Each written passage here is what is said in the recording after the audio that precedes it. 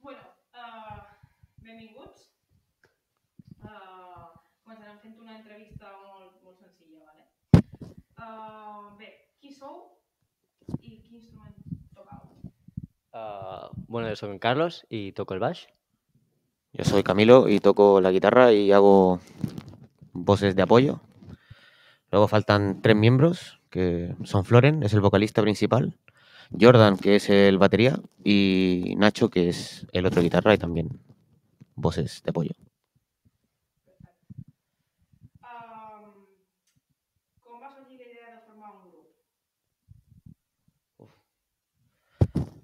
Bueno, a ver, hace, hace muchísimo tiempo que, que nos habíamos juntado con amigos, empezamos a ensayar aquí en, en Tramontana. Este proyecto empezó con junto con el batería y bueno, éramos amigos desde hace muchísimo tiempo y dijimos, mira, ya que tú sabes tocar esto y yo sé tocar esto otro, pues vamos a juntarlo un poco. Y aparte siempre hemos tenido pues esta pasión por el metal y en general. eh, Algo así. El nom de Ragnosis? Què significa? Uf, Ragnosis. eh, Ragnosis es, es una mezcla de tres palabras. O sea, para que veas lo creativos que somos. no teníamos ni idea cómo ponerle al grupo. Entonces mezclamos las cosas más apocalípticas ahí que podíamos, que es Ragnarok, Apocalipsis y Némesis. Y juntamos, hicimos un batido y salió Ragnosis. Esto, bien.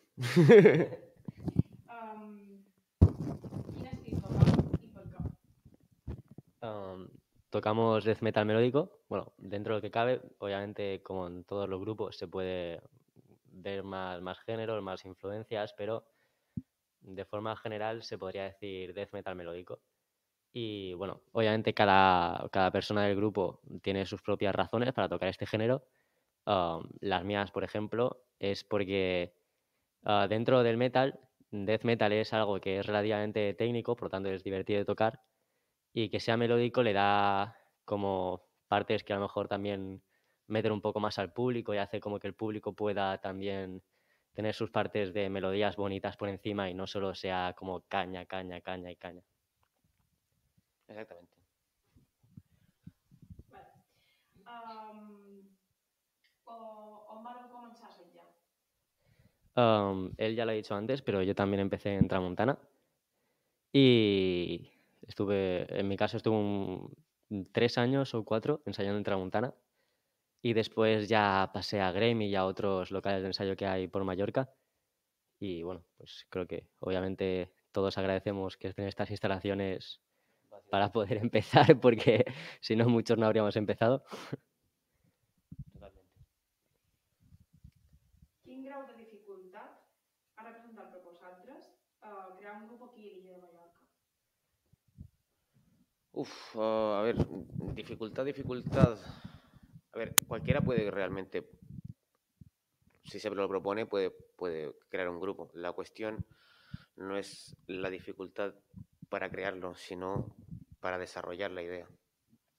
Ah, no hay demasiados medios para los principiantes. La gente pues eh, encuentra dificultades para encontrar locales de ensayo Ah, tampoco es que se aprecie demasiado. sea, el, el el gobierno balear también se involucra bastante. En cierto modo, no es bastante, pero en cierto modo, y sin embargo, aún sigue faltando un poco más de implicación, un poco más que se que se dirijan ciertos recursos y que se apoye pues la zona. Entonces, realmente el formarlo no es un problema, el, el- el mantenerlo es el problema. Hay muchas bandas que terminan separándose por este mismo tipo de cosas y, bueno. Es talento que también a la larga se, desperdicia, digamos. O se, podría aprovechar mejor. Eso yo creo que es la dificultad que hay. Pero crear un grupo realmente, si hay compromiso, si hay, eh, si hay unidad, cualquiera puede hacerlo. Y animo, de hecho, a la gente que lo haga. Quin consell li donaríeu a les joves que ara, per exemple, estan començant amb un grup aquí a Valls o en qualque, en qualque altre lloc?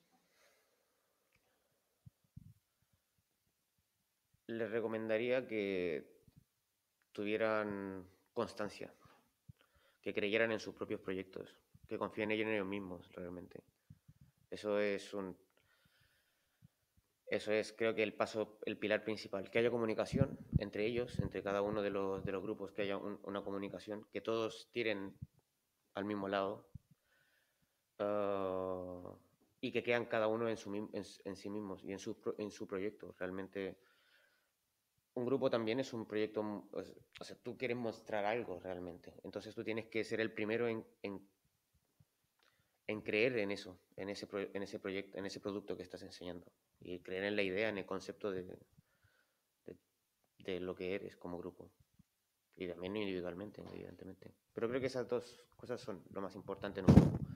Tener unidad, compromiso entre cada uno de todos y comunicación.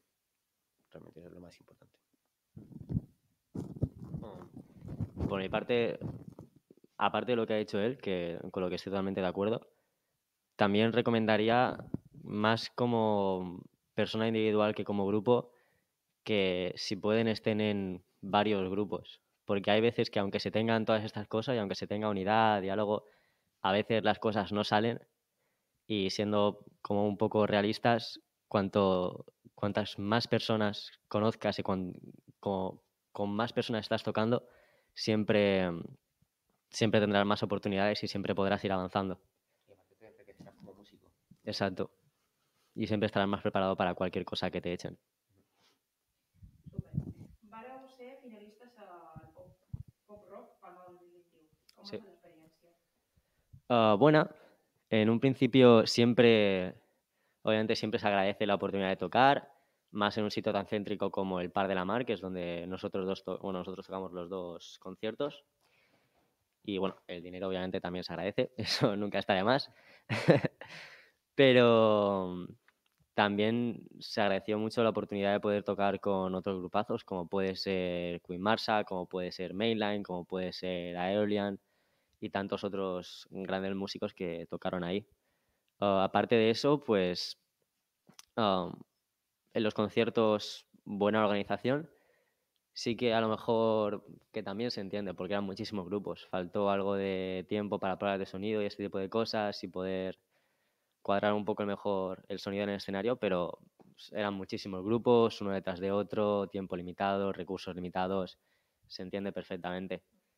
Pero sí, al menos por mi parte, bastante contento de la experiencia y de haber tenido la oportunidad. Vaya, la verdad es que fue un, realmente un honor. No teníamos ni idea. A ver, mandamos la solicitud teniendo absolutamente cero expectativas en, en, que fuéramos elegidos, porque básicamente somos un grupo de death metal que quiere participar en, en, un, en un concurso que se llama pop rock, realmente es completamente diferente. Más que nada lo hicimos un poco con rollo saboteo también. ¿eh? O sea, dijimos, mira, vamos a sabotear este concurso que me apetece, me apetece,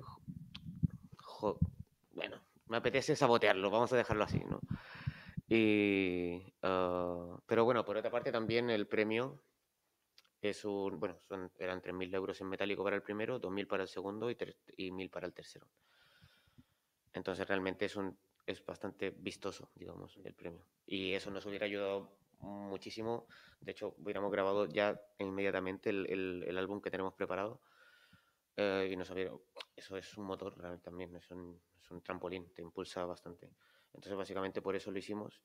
No esperábamos participar, nos clasificamos en la semifinal y cuando ganamos la, semifinal y pasamos a la final, estábamos vamos, flipando realmente porque nunca, nunca, nunca, nunca en la vida me lo hubiera esperado llegar a la final. Íbamos con la expectativa de por lo menos sacar los 250 euros que te pagan por presentación.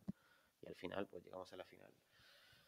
Y realmente estar rodeado, llegar a la final con tantos grupazos, realmente, porque Yoko Factor, un grupazo, Queen Marsa, uh, haber tocado en la semifinal con Ben Lainten, que es un, es un grupo súper internacional con un montón de salida. Uh, joder, es un, es un honor para un grupo que realmente, aunque tenga años de haber empezado, no somos nadie realmente, o sea, casi casi es que ni siquiera nos hemos presentado. Teníamos, ellos, fue, fue la primera vez que, bueno, porque ellos son, son integrantes nuevos, tanto Ignacio como Carlos son integrantes nuevos. Y, pero previamente Ragnosis había hecho tres o cuatro conciertos, no, no es, no es que sea un grupo que haya tenido mucha repercusión mediática, digamos. Y haber llegado a la final, pues, pues la verdad es que fue, fue bastante, bastante guay. Un honorazo tocar con todos los grupos, el sonido espectacular también en la final fue bestial. Viendo a la gente que después de toda la pandemia estaba haciendo cap- melenas al viento, gente que ni siquiera conocíamos en la muralla arriba haciendo molinos. Era, era, fue brutal, o sea, nos lo pasamos tan bien, fue disfrutar, fue disfrutar y, y nos lo pasamos genial, la verdad. Nos trataron súper bien. Y bueno, se llegó hasta la final, no se pudo un premio, pero se queda uno con la experiencia, que es realmente lo que más, lo que más importa. Molt bé. I actualment teniu qualque projecte en marxa? Bueno, sí, la verdad que sí. A ver, eh, tenemos el, el disco a punto de, a punto de grabarse. Realmente está todo compuesto ya. Eh, estamos en proceso de hacer eh, un poco de merch para poder eh, bueno, difundir un poco la idea de Ragnosis. Y además, bueno, el próximo 15, 15 de marzo vamos a tocar con, con Rotting Christ, que es un, es un estandarte del, del black metal actual internacionalmente. Entonces, e- eso sí que va a ser un honor, la verdad. Eso va a ser un honor. Escuchando este grupo desde hace 10 años y poder tocar con- junto a ellos va a ser, no sé, fuera de, a ser fuera del, fuera de, fuera de este mundo. Así que de momento, a corto plazo, estos realmente son los primeros, son los proyectos que tenemos.